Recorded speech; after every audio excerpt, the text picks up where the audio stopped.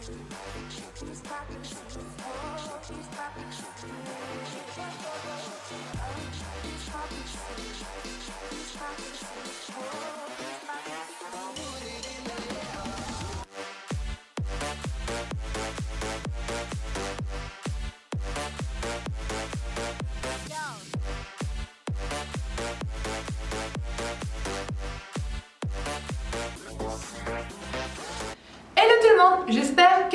Alors, on se retrouve dans ma salle geek. pour faire cette vidéo, j'avais envie d'avoir un petit endroit cosy pour vous parler de mes favoris food, donc qui est le thème de cette vidéo. Ça fait un petit moment que je voulais vous parler de mes produits préférés, mais il faut dire que ça a beaucoup, beaucoup changé, beaucoup évolué, et j'ai trouvé euh, plus sympa de vous parler plutôt des aliments véganes euh, qui ne sont pas bruts, qui sont euh, vraiment des choses que j'utilise de manière instantanée, on va dire, pour euh, vous présenter voilà, des, aliments dont je ne peux vraiment pas me passer au quotidien. Donc du coup, je ne vais pas vous les lister dans un ordre précis. Euh, si vous me suivez depuis un long moment, euh, vous allez connaître tous mes produits. Il n'y aura pas vraiment de surprise pour vous. Mais c'est toujours bon de faire un petit résumé parce que je présente tellement de produits, parce que vous le savez, j'adore tester les nouveaux produits, j'adore acheter des nouvelles choses et voilà. Donc du coup, c'était une bonne, une bonne chose de faire finalement un petit listing de mes 15 produits vegan préférés. En tout cas, ceux dont je ne peux pas me passer au quotidien. Bon, bah c'est parti Alors, concernant le frais, en numéro 1, sans hésiter, Beyond Meat. Vous le savez, les simili de la marque sont mes préférés. Que ce soit en steak comme voici, en saucisse pour les hot dogs, en boulettes pour euh, faire des boulettes de viande hachée avec des spaghettis bolognaises. Euh, euh, en haché aussi. J'ai déjà mangé le haché de Beyond qui est aussi monstrueusement bon. Dans des lasagnes, j'avais testé, c'était trop trop bon. Vraiment, les simili là, ce sont les plus chers malheureusement. Il faut compter 7 euros pour deux steaks. Mais c'est vrai que si vous allez chez le boucher et que vous achetez deux bons steaks de bœuf, je pense pas que vous payez moins cher. Donc du coup, je me fais ce petit plaisir. Tous les mois, je m'offre au moins un produit bien Meat. En numéro 2, qui dit steak Beyond Meat burger et qui dit burger dit fromage. S'il y a vraiment un produit de la gamme BioLife que vous connaissez tous, je suppose, hein, qui est vraiment mon préféré puisque j'estime que la gamme BioLife est quand même l'un des similes les meilleurs sur le marché, même si je commence à en découvrir d'autres hein, qui sont très bons. Mais pour tout ce qui est cheddar en tranche, jusqu'à présent, je n'ai rien trouvé qui détrônait le Violife. Et donc j'ai toujours, toujours, toujours les tranches Violife dans mon frigo puisque je ne peux pas me passer de burger sans fromage cheddar. Et du coup, j'en mets systématiquement dans tous mes burgers. En numéro 3, ça je pense que vous allez le deviner, pour un autre simili dont je ne peux vraiment pas me passer et que j'en mange toutes les semaines, ce sont les chunks de chez Eura qui, je vous, je vous l'assure, sont les meilleurs simili de poulet que j'ai jamais mangé. En plus, ils sont vraiment pas chers. Si vous les comparez aux nouveaux fermiers, qui sont tout aussi bons, les aiguillettes des nouveaux fermiers, franchement, c'est aussi une tuerie. Pour moi, c'est équivalent à Eura, ça c'est clair, mais c'est deux fois le prix. Donc tant qu'ils n'auront pas baissé leurs tarifs, je suis désolée, mais je continuerai à acheter chez Eura parce que franchement, ils sont vachement bons. Et aussi plus accessibles. Il faut dire que les produits nouveaux fermiers, chez moi, je ne les trouve que à Biomonde à Metz. Je ne les trouve pas dans mon euh, voilà, proche de chez moi. Alors que les Eura, je les trouve dans le Monoprix, qui est pas très, voilà, pas à côté de chez moi, mais non, mais bon, pas non plus à 50 km. Donc, je privilégie les Eura pour le côté pratique, le côté bon, le côté pas cher, et ça, je me l'offre toutes les semaines. En numéro 4, ce que j'adore m'acheter au magasin bio et à chaque fois que j'y vais, vous le savez, j'en prends pour le mois, c'est le tofu fumé. Et pas n'importe lequel, celui de la marque Typhon et l'amande sésame qui est vraiment le meilleur, meilleur, meilleur tofu du monde. Vraiment, celui-là, vous n'avez même pas besoin de le cuisiner. Froid dans un sandwich ou une salade, il est monstrueusement bon. Juste rôti, vous le coupez en dés, vous le rôtissez à la poêle dans un peu d'huile d'olive, monstrueusement bon. Vous voulez rajouter un peu de saveur? Déglacez la sauce soja à la fin de la cuisson. Mmh. C'est un délice. Et vous pouvez l'accompagner de ce que vous voulez. Franchement, ça passe nickel. Et c'est ça qui est super avec ce tofu, c'est que dès que vous voulez une, portion de protéines rapide sans avoir à la cuisiner, eh ben, celui-là, il vous sauve la vie. En plus, il est enrichi en calcium, c'est tout bénef. En numéro 5, et ce sera le dernier euh, de la catégorie frais, ce sont les yaourts végétaux. J'en consomme très très très souvent. Le yaourt nature de soja par défaut, c'est principalement pour faire mes sauces. Je fais énormément de sauce au yaourt et j'adore ça. Je le mets également dans beaucoup de recettes sucrées ou salées et ça c'est un produit dont je ne peux pas me passer. Maintenant, il y a d'autres gammes de yaourts dont je ne peux pas me passer également et dont je vais vous montrer quand même ce que mes préférés. Tout d'abord, le yaourt de la gamme Alpro que vous connaissez, j'adore cette marque, celui en plus la noix de coco, c'est vraiment vraiment mon préféré. Je l'adore, il est sublime dans les petits déjeuners ou dans juste un goûter. Que vous le mangez comme ça ou mélangé, franchement les deux ça me va, ils sont trop trop trop bons. C'est pour ça que j'évite de l'utiliser dans les, dans les recettes mélangées parce que j'ai vraiment envie de garder toute cette saveur à 100% dans un bol. Donc du coup plutôt mélangé avec du granola et des fruits ou des fois dans un porridge. Un autre produit de la gamme Alpro dont je ne peux plus me passer également, c'est le skier. Alors malheureusement celui-là pour le trouver c'est pas toujours évident pour moi, ils le vendent à Auchan, sauf que euh, des fois je vais en rayon, il n'y en a pas, mais il y en a au drive. Alors euh, faire un drive juste pour un yaourt, des fois c'est pas top. Donc j'essaie des fois de faire un drive et de prendre mon yaourt Alpro. Et des fois même au drive il n'y en a plus, je vais en magasin. Des fois ils l'ont en magasin et des fois ils l'ont pas. Donc euh, ça arrive que des fois je n'en ai pas. Mais si je pouvais en consommer tout le temps, ça m'irait très bien. Pourquoi? Parce que le skir, si vous ne savez pas ce que c'est, c'est comme un yaourt à la grecque mais encore plus épais. Ça ressemble plus au fromage blanc en fait et c'est vraiment super bon. Vous pouvez le manger tel quel avec un peu de sucre et ça vous fait un bon petit fromage blanc sucré. Moi j'adore le manger dans mes petits déj parce que ça apporte beaucoup plus de protéines que mon autre yaourt à la noix de coco et ça me permet aussi de varier les plaisirs. Et aussi au niveau de la texture, le fait que le skir ait une texture plus épaisse, ça aide beaucoup. Et le skir par contre, je le mange pas que comme ça, je le mets aussi souvent dans les recettes puisque souvent vous mettez du fromage blanc, enfin en tout cas beaucoup de recettes non véganes utilisent du fromage blanc ou du skir non vegan, et euh, parce qu'il faut une consistance plus épaisse pour la recette, et du coup le skir me sauve la vie dans plein de choses. Je dirais en tête la recette des cinnamon rolls de Julia qui est avec du skir et qui est franchement trop trop bon. Sinon, autre yaourt que je ne peux pas me passer et que j'adore depuis que je l'ai découvert, c'est le soja sun à la grecque à la vanille. Alors, il est aussi bon que celui d'Alpro, voilà, donc Alpro est moins cher au kilo, c'est vrai.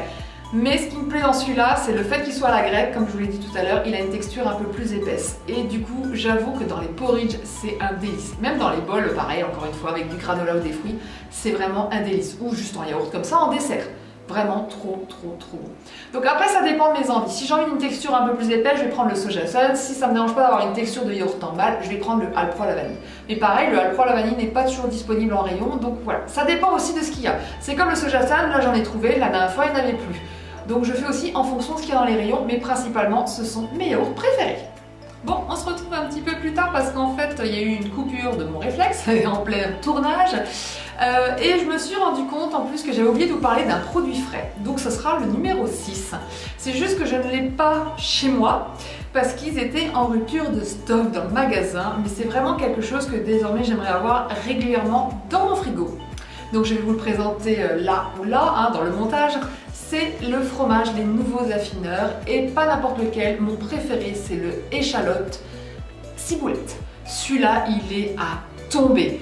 Franchement, il est super crémeux. C'est en fait, c'est un mix de ma crème cheese avec le meilleur de la noix de cajou. c'est clairement ça, parce que quand on voit les ingrédients, c'est pour ça que d'ailleurs j'essaierai de le reproduire à la maison. Euh, parce que j'adore ma crème cheese, mais j'adore les nouveaux affineurs et euh, du coup je vais, essayer de voir si je peux faire un fromage de cajou euh, moi-même. Mais vraiment celui-là c'est mon préféré et il est pas si cher que ça. enfin si un petit peu quand même, mais à tartiner vous en avez pas pour plusieurs tartines quand même et il coûte moins de 5 euros. Donc je trouve que ça va comparé à d'autres fromages végétaux qui sont quand même dans les 10 euros en moyenne et c'est des camemberts et en plus euh, tout petit. Hein. donc du coup euh, vous le coupez en 4 en général, moi ça fait 4 morceaux et c'est fini. Et encore parce que je me suis contrainte à en manger qu'un petit morceau, sinon en général j'en mangerai la moitié d'un coup, voire le fromage en entier, mais 10 euros ça fait un peu mal, il faut pas, faut pas se le cacher. J'ai goûté récemment la version nature, vous avez dû le voir mon retour de cours, j'avais en plus une réduction dessus. Alors je sais pas si c'est parce qu'il était à la limite de la péremption ou si c'est parce qu'il est comme ça tout le temps à cause du sel de Camargue qu'il y a dedans, mais j'ai trouvé qu'il avait un arrière-goût. Euh, alors mélangé dans du pain toasté, ça passait, Mais euh, j'ai trouvé que nature c'était vraiment pas fun. Vraiment, c'était pas top top. Et je crois que, il me semble que Cora de l'Afrique glaneuse m'avait dit qu'elle aimait pas trop le nature. Il me semble que c'est toi Cora, tu me rediras ça dans les commentaires. Mais du coup, euh, je, voilà, si je dois vraiment vous en conseiller un seul et unique, euh, si vous êtes fan du fines herbes, allez-y, vous serez pas déçus. Et sinon, échalote ciboulette, sans hésiter. Du coup, on passe à l'épicerie et là, pour le numéro 7, j'ai envie de vous présenter un produit que je ne peux pas me passer. en même temps, c'est le thème de la vidéo, mais voilà, celui-là, c'est vraiment impossible que je m'en passe, le beurre de cacahuète de Wallart. Ce beurre de cacahuète, il est monstrueux, hyper smooth, je sais pas vous, mais moi, trouver des beurres de cacahuètes aussi lisses, je n'en trouve pas. Quand je le fais moi-même, il est hyper bon, mais il n'est pas aussi lisse. Et je vous garantis que le côté lisse, ça change tout, mais vraiment tout. En plus, je sais pas comment ils ont fait, mais le goût est différent, il est encore meilleur et pourtant il y a juste un petit, petit passé de sel en plus dedans. C'est tout, sinon c'est de la cacahuète grillée. Je sais pas comment ils ont fait ce miracle, mais en tout cas ils l'ont fait. Le pot est pas trop cher, hein, c'est 3,99€ chez Auchan. Donc du coup, je me fais plaisir quand je veux un bon beurre de cacahuète smooth euh, dans mon smoothie ou euh, dans plutôt dans mes porridge hein, en topping. Je prends celui-là. Sinon, s'il faut le mélanger dans les recettes, je fais toujours mon maison avec mon Magimix parce que là, ça revient beaucoup moins cher et j'ai pas envie de gâcher une beauté pareille dans des recettes, enfin gâcher. Vous voyez ce que je veux dire? À manger à la cuillère, je préfère clairement celui-là en nature sur mes voilà en topping plutôt que mélanger dans une recette où on sent quand même le beurre de cacahuète, mais c'est pas totalement la même chose. Là, à ce moment-là, je préfère le maison. Le huitième ingrédient, j'ai envie de vous dire, on va rester dans la gourmandise et celui-là, vous le savez, vous me connaissez. Euh, si vous me suivez depuis le début, vous savez que je ne peux plus m'en passer. C'est le chocolat Et pas n'importe quel chocolat, celui de la marque Rapunzel, le chocolat praliné. Franchement, celui-là, si vous avez jamais goûté de chocolat vegan au praliné, c'est celui-là que je vous conseille. À 1000%. Il est trop, trop, trop, trop. D'ailleurs, celui-là, il est vide. je vais garder l'emballage exprès pour vous remontrer pour la vidéo. Euh, comme vous le savez aussi, dans ma dernière vidéo retour de cours, je vous avais dit que j'avais pas pu en acheter plus parce qu'il n'y en avait plus en rayon, donc j'étais mais je vais y retourner euh, ce week-end, donc euh, j'espère qu'ils en auront. Mais euh, vraiment, celui-là, il est trop trop bon. C'est celui que je mange en régulièrement.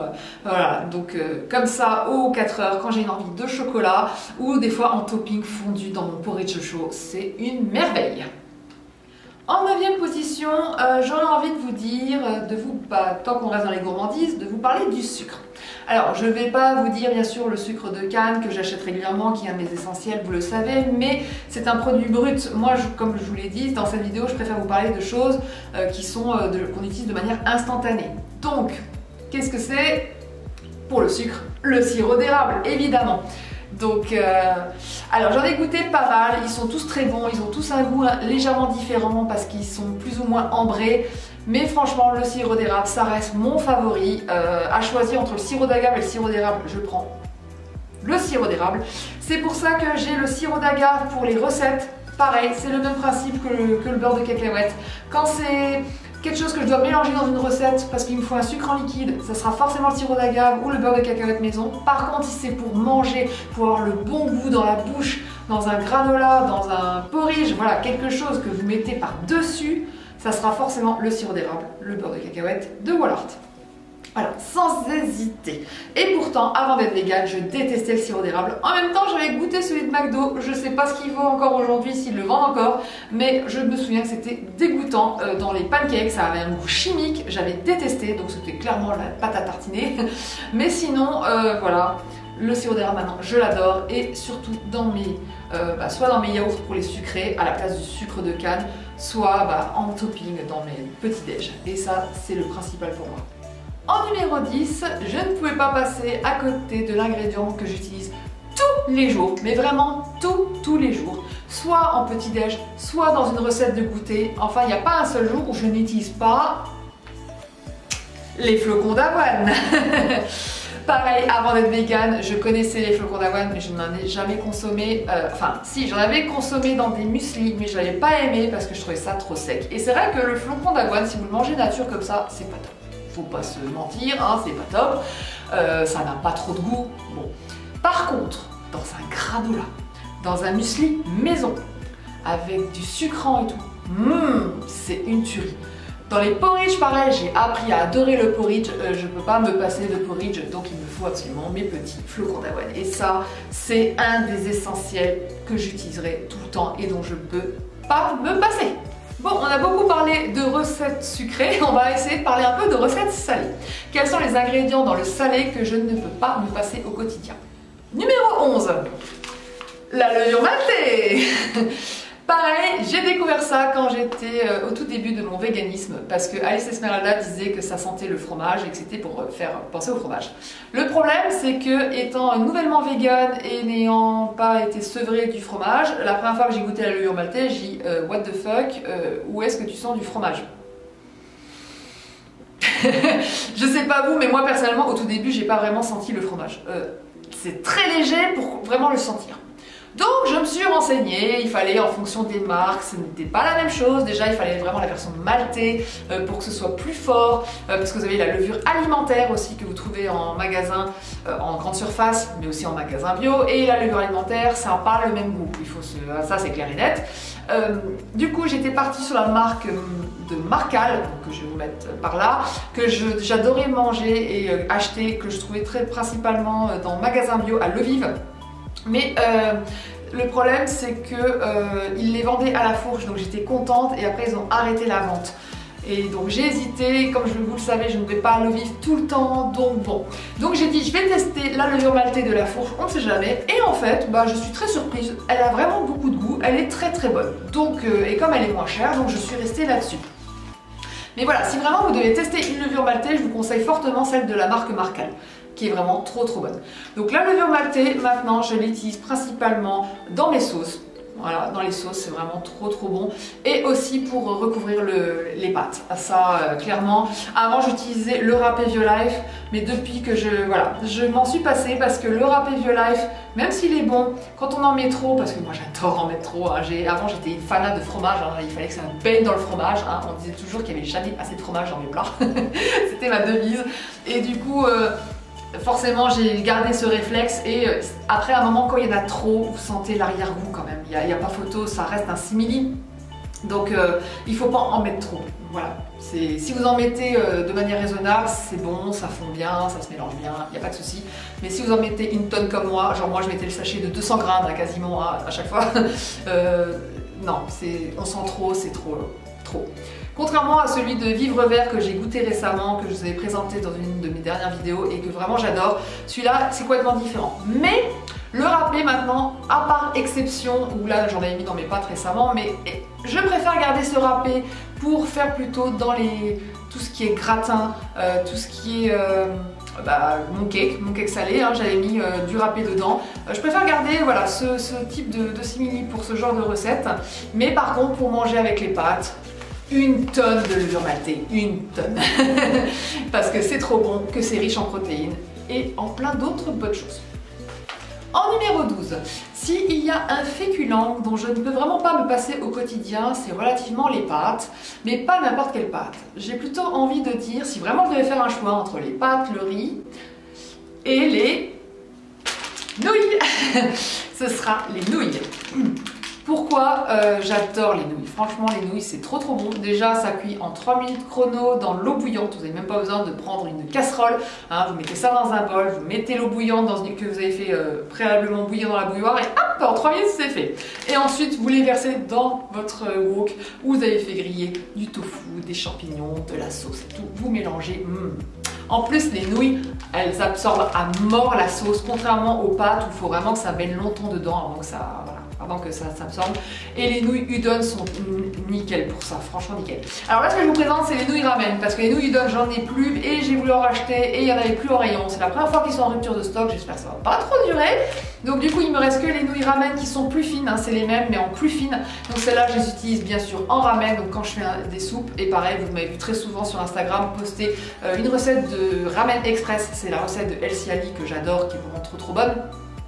Donc j'aime bien me faire ce genre de plat, que ce soit le soir ou le midi. C'est souvent des repas de flemme, des repas rapides à faire. Et vraiment, je vous les conseille si vous les avez encore jamais goûtés. En numéro 13, euh, j'ai voulu vous parler d'un condiment. Euh, c'est très dur de choisir hein, entre les condiments le, que j'adore, il y en a beaucoup, euh, vraiment, j'en ai plein, hein, que ce soit les épices ou autres, il y en a plein. Mais si je dois en choisir un seul dont je ne peux vraiment pas me passer parce que je l'utilise tous les jours, c'est l'huile d'olive. Et forcément, l'huile d'olive, je m'en sers tout le temps, que ce soit ça peut être dans des sauces, ça peut arriver quand je rajoute ça dans les sauces. En général, il n'y a pas d'huile, mais ça peut arriver. Mais tout le temps dans ma poêle, tout simplement pour faire cuire, retirer les, légumes, principalement les champignons. J'adore les champignons à l'huile d'olive. Quoique l'huile de sésame, c'est très bon aussi. Et voilà, l'huile d'olive, hein, c'est le passe-partout, ça, ça, va partout. Donc euh, du coup, euh, quand je fais cuire mes chunks, euh, quand je fais cuire les Beyond Meat, voilà, tout ce que je fais cuire dans une poêle, je l'utilise avec l'huile d'olive. Je ne peux pas m'en passer. Je trouve vraiment que ça apporte un plus à la recette. Je sais pas vous, vous me direz dans les commentaires si c'est le cas aussi pour vous, mais moi personnellement, je ne peux pas m'en passer. Quatorzième ingrédient, c'est un produit dont je ne peux également pas me passer. Pourquoi? Parce que c'est dans mes repas de flemme. C'est plus que pratique et c'est la sauce salsa Donc là j'en ai deux dans mes, placards, donc c'est pour ça que je montre les deux, mais ça m'arrive que j'en ai plus. Euh, ça c'est la sauce salsa que j'ai acheté à la fourche que j'ai pas encore goûté, et ça c'est la salsa de chez Heinz dont je vous ai parlé, c'était dans mon retour de course de chez Nose, qui est vraiment très très bonne. Il y a aussi la sauce Faritas euh, de chez Olden Paso que je mange aussi. Euh, ça arrive aussi que je prenne celle de grand frais, bref vous l'aurez compris, une sauce mexicaine, hein, donc type Faritas, burritos, salsa salsa principalement. Donc euh, ça, pourquoi? Parce que quand je veux faire un repas de flemme avec des wraps, évidemment, je mange toujours au plus flemme, c'est les haricots rouges, la sauce salsa, et ensuite je rajoute les légumes que j'ai dans mon frigo. Donc du maïs principalement, j'ai beaucoup, j'ai très souvent des conserves de maïs, parce que mon homme adore ça et moi aussi. Euh, des tomates, vous le savez, j'adore les tomates, hein, même si c'est pas de saison, j'achète des tomates. Et euh, souvent, bah, en ce moment, j'achète quand même pas mal d'avocats, parce que c'est vrai que c'est très bon et que c'est pas la saison non plus, mais voilà, j'en mange quand même régulièrement. Donc j'essaie de mettre tout ça, je mixe, et voilà, ça fait un super euh, faritas, burrito, ce que vous voulez, ça fait un wrap du tonnerre. Et si vraiment je veux que ça ressemble plus à un faritas, je vais rajouter les chunks puisque c'est le meilleur simili poulet. Et si je veux que ça ressemble plus à un burritos, je mettrai le haché de Beyond Meat. Voilà.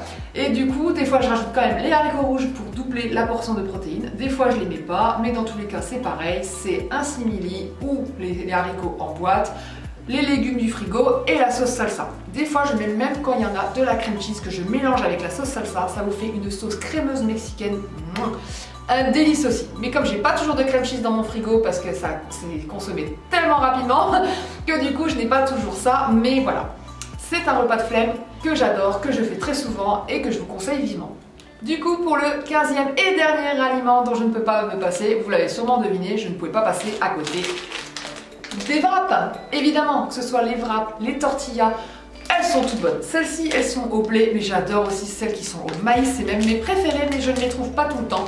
Euh, voilà, que ce soit la marque All Paso comme je l'ai eu là parce qu'elle était en promo, que ce soit un produit que j'ai acheté chez Nose parce qu'ils étaient euh, en déstockage, peu importe les wraps, un wrap reste un wrap, à part le blé ou maïs qui forcément change un peu le goût, mais sinon pour moi c'est la même chose. Vous avez aussi les tailles qui sont plus ou moins grandes, il y a des petits, des plus grands, bon pareil. C'est pour ça que vous avez d'ailleurs la différence entre tortilla et wrap, c'est souvent la taille qui est différente. Mais voilà, j'en ai toujours, toujours dans mes placards parce que voilà, si j'arrive un soir, comme je l'ai dit avant, je sais pas quoi faire, je veux un repas de flemme super bon où je sais que je vais me régaler. Hop Tortilla voilà, c'est tout pour mes 15 aliments préférés, ceux dont je ne peux vraiment, vraiment, vraiment pas me passer au quotidien. J'espère que cette vidéo vous a plu. En tout cas, n'hésitez pas à liker, à commenter et à vous abonner à la chaîne si ce n'est pas encore fait. Je vous souhaite une excellente soirée et je vous dis à très vite pour une prochaine vidéo